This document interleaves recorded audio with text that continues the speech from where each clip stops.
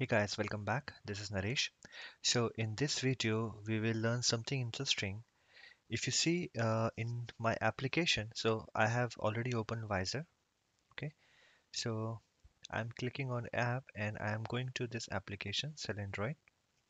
So if you see in this application, uh, there are many buttons, forms, and everything is given here.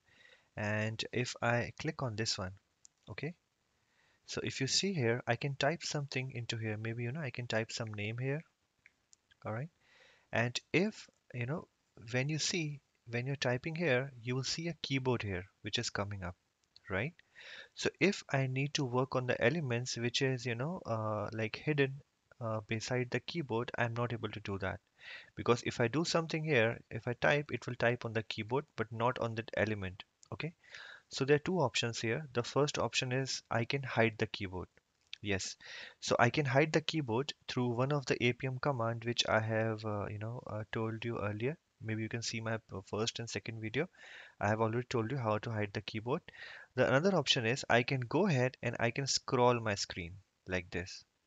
Okay, so I can scroll and if I need to click on this, then I can click on this. So in this video, we will learn how to scroll the screen from your code. It's very helpful. So right now we are scrolling, you know, like from, uh, you know, we are scrolling vertical. But it might possible when you're working on your in your company, there are many websites you have to scroll right to left also, which is very common in Android. Okay, like in WhatsApp also you can see there are certain tabs given and you can just scroll right and left also. So for both for vertical swipe and horizontal swipe, logic remains the same. So let me tell you how we can do that through the code. Okay. And uh, before we do that, let me show you one more thing. So if you go settings, okay, see what you will see. Can you see the coordinates on my screen uh, on this Vysor? Okay, let me show you. See, these are the coordinates, right? 1.306 y. These are the coordinates. And if you see here, if I go to Selendroid and here, if I touch anywhere on the screen, example, I'm touching on the password. Okay, Can you see can you see the lines which are coming up as a plus symbol? Okay. See? Can you see these lines? How these has come up? Because I have turned on these lines from my settings. And if you see here, my coordinates are also moving at the top. Can you see these? These are coordinates. If I am moving towards the right, right, you will notice that my x, you know, is getting either increase or decrease, but my y is almost constant. Okay. If I move my, you know, like if I move up like here, then what will happen? my y is you know getting increase and decrease but my x is almost constant so that's mean here when we say the width this is the x and the height it is the y. So these are the y coordinates these are the x coordinate so we have to make sure. And from the settings if we see that the x and y coordinates so you can just go to settings. And here developer option. Under the developer option uh, wait. So let me just, yeah. So in the input, can you see this input? And there are two options, show touches, show pointer location. So I have turned on the pointer location. If I turn off the pointer location, now you will not see, you know, the coordinates at the top and you will not see that plus symbol also which was coming up. So let me do that again. And now you will see, you know, uh, like it is able to detect my uh, finger so it is showing you a plus symbol and it is also showing the coordinates. So whenever we have to swap the screen or do something on the coordinates of the screen, we have to make sure that the coordinates are shown on this. So that's that's how we can, you know, know that what are the coordinates which we have to give. Okay. So let me just move back. All right. Now let's go to our test case. So this is the test case which I want to write. So what I need to do, let me just show you on the screen. Okay, what I need to do, I need to go here okay and then I need to click this one this one okay. Once I click this one I want to type something here then I need to just scroll and then I need to check it. So this is what we are we have to do right now okay. So let me go back. So you know I need to get the element of this sorry. So I need to get, get the element of this. But here we cannot just do a right click and inspect element. For that uh, like we have done before, we have to use the UI Automator Viewer. You have to type this into a command prompt and then you can get the UI Automator viewer. Okay, so we just have to take the screenshot of that. We can even save the screenshot for reference purposes for later on, but we will not save it because we are not doing much right now. We are just, uh, you know, uh, looking for three elements. Okay. See, you can save from here also. You can keep it some folder if you don't want to, you know, always take a screenshot. All right. So this is the one which we want to click, right? Uh, wait. Okay. This is the one which you want to click and this is a screenshot of that. So if I go here it give me various options. I can give resource ID, I can give accessibility ID, I can give package name. So if the resource ID is given, it's always better I can use that ID. So I can just do a control S, okay? And then I can go to my here and I can give the command driver dot find element by dot ID. Okay, so I can give my ID here and I want to click it. Fine? So let's see. Once I click on that okay? I want to type here. So I have to take the screenshot of that again okay so I will take the screenshot of this second screen. All right. See guys right now I'm telling you what are the commands which we are required to do. Okay. But when you're working on a framework you have to work in a similar manner like I have told you in one of the video for the page object pattern. Here also you know if you're working in a company so you have to create two pages. One is this home page and one is this form page so there are two pages created and there would be two test classes created so there will be total four classes you have to create in a page object pattern okay but right now we are just doing it very simple so that you can understand the basic concepts of all the commands. But later on, we can even convert them into page object pattern. All right. So this is our username and uh, this is a screenshot. If I go here, it has a resource ID also. So I will do control C and again, so once I click on that, I want to type. So I will say driver dot find element by dot ID. Okay. Then I will return ID here and I want to do a send keys. Okay. So let me type Naresh here. Okay. All right. So what we need to do now? So we know that you know when we are on this screen here okay? I need to swipe the screen right? I have to swipe it okay? So for that what I can do I can just write a blank method here. Swipe. Swipe screen. Or swipe uh, okay swipe screen. Let it give swipe screen. Okay it's a blank method. I have not created yet. If I go to this it will tell me to create the method. I will click on that. And we will create this method later on. Then what I have to do once it gets swiped okay? I need to check that. For that I can again take a screenshot because the previous screenshot does not have the bottom of the screen. So I'm taking a screenshot and now I have to just click on this. Okay? Wait this one and its resource ID is this. All right I again need to do a click on that. So I will do driver dot find element see guys right now what we are doing we have already done that right since this is not something new in the previous video we have already seen that uh, how to find an element and how to you know click and do a send keys on that so this is not new so we are doing everything. The swipe screen is a method which will implement, which will be new to us. Okay. So we need to work on this swipe screen method. So let me just remove this. All right. So what else, what all do we need when we work on the swipe screen? If it's a horizontal uh, swipe or a vertical swipe, what else we need to do? So first of all, we need to get the size of the screen. Okay. And how do I get that? So there's a class called dimension okay so it's a class called dimension maybe spelling is wrong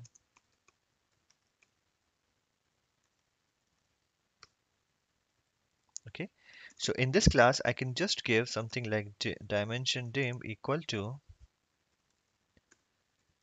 driver dot manage dot window dot get size. Alright so it will give me the x and y coordinates of my screen. Okay?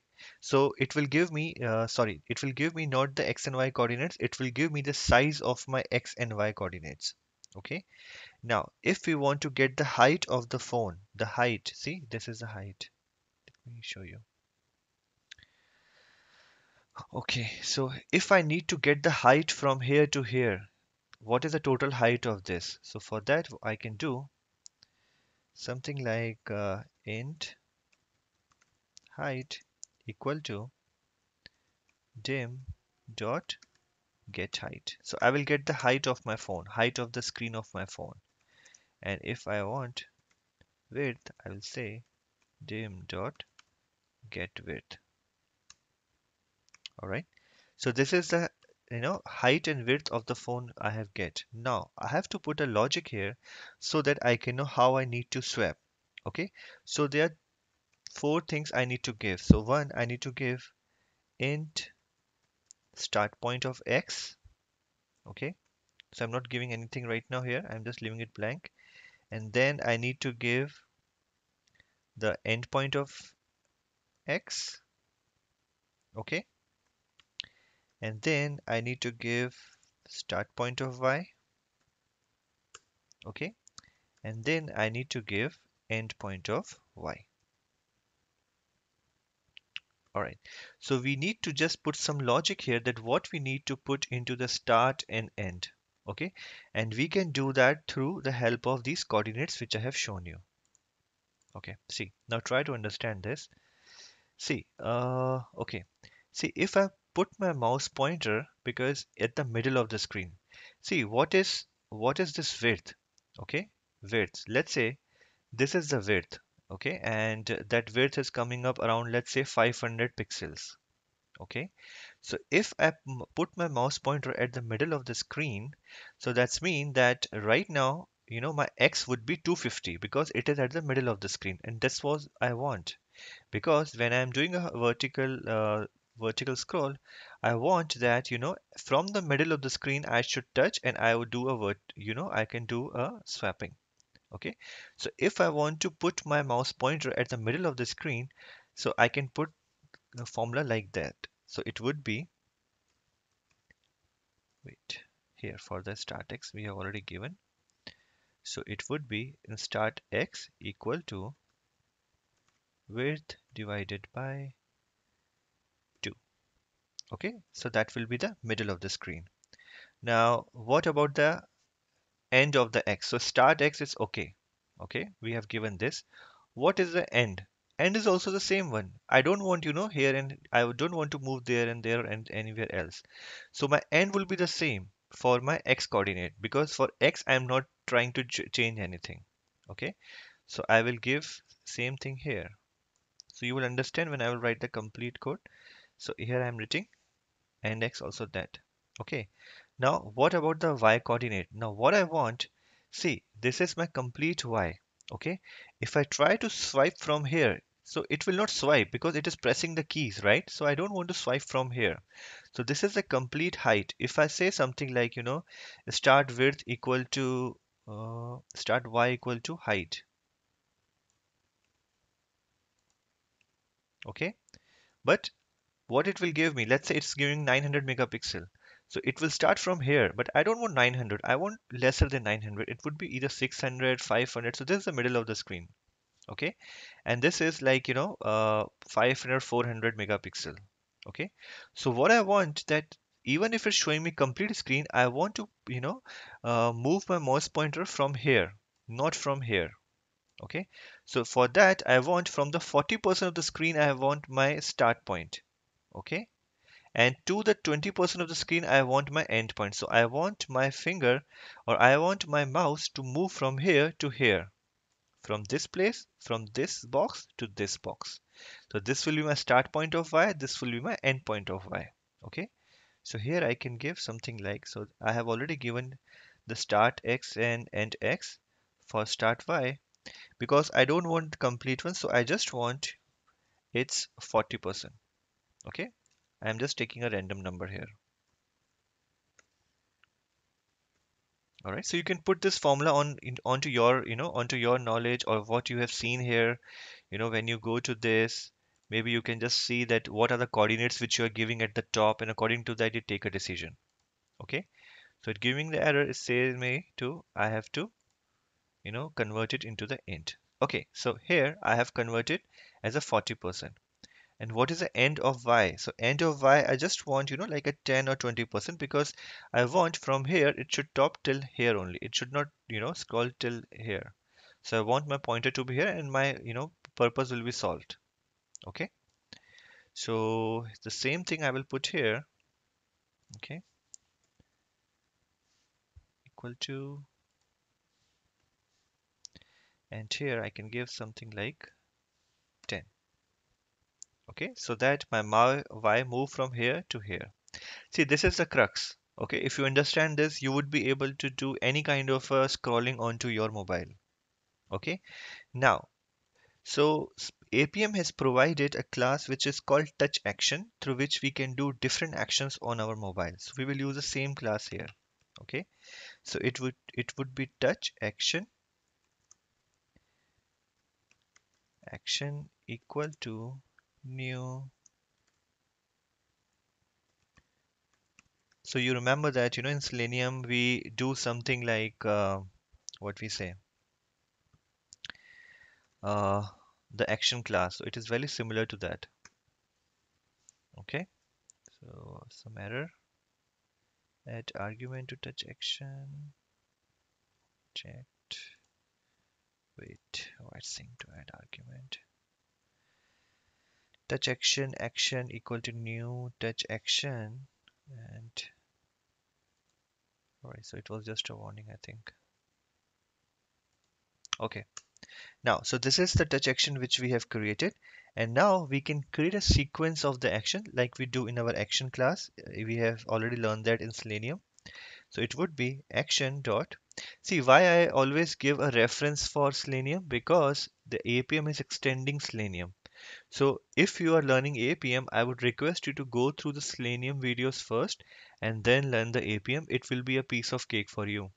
If you have not gone through the Selenium and directly you are jumping on the Appium, then it will be a bit difficult for you to connect the things because right now I'm not explaining in detail what the touch action is because we have already talked about this when we were when we were doing the action class in Selenium. So it is very similar to that.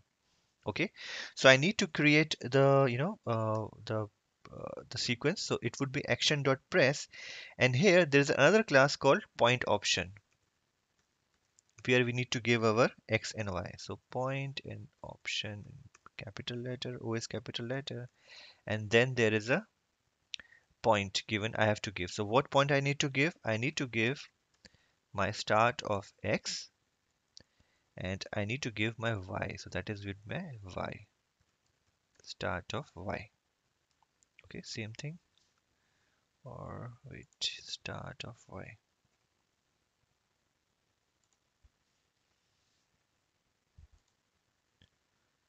What is that? Start y. Okay.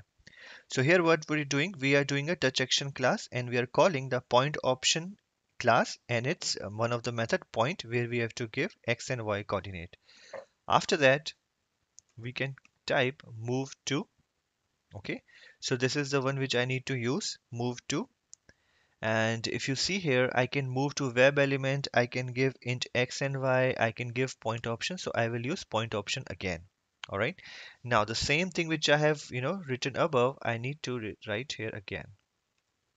Okay.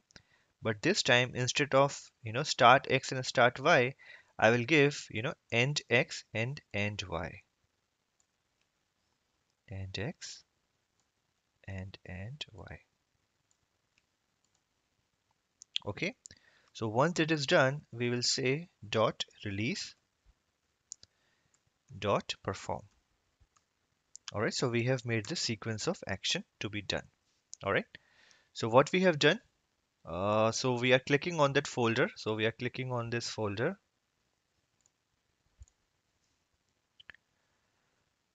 okay one second. Okay. So once our application get open we are clicking on this folder. All right. After that we are typing something here. Then we want to scroll and then we want to click on that. So we are clicking on the folder, we are typing, we are scrolling, and then we are clicking on the checkbox. And for swiping, the we have taken the coordinates through dimension and from dimension we got the height and width. Once we get you height and width even if you do a scroll or vertical scrolling or horizontal scrolling you have to give the x and y. So this is the crux. You have to understand how to give the x and y of your screen. And from where to where you have to scroll and according to that you can tweak that out. Okay? And then we are using our touch action class with point option so that we can give x and y coordinate so that it can swipe. All right now we will try to run this. So let's run. And let me just open this also for you. Let me go back. Okay. So run TestNG test. Let's open this.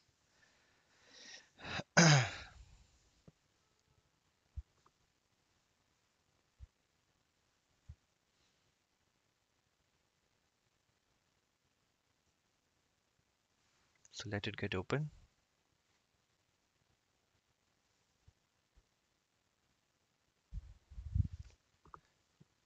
okay so it has opened it has clicked and under username it will try to type.